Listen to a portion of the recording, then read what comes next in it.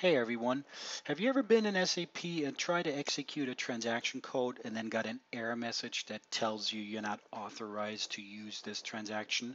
Let me show you what I mean. For example, I'm going to try transaction code SU01. That's the user maintenance menu.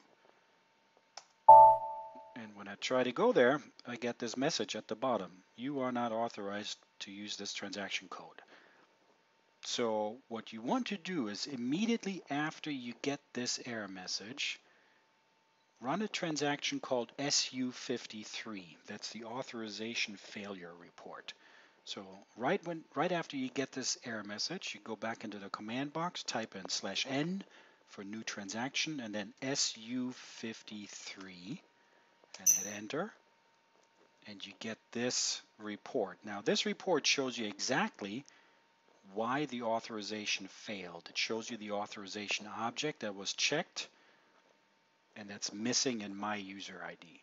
So you can now take a screenshot of it and give it to your system administrator and ask him, hey, can you please add this authorization to my user ID so that I can ex execute that transaction.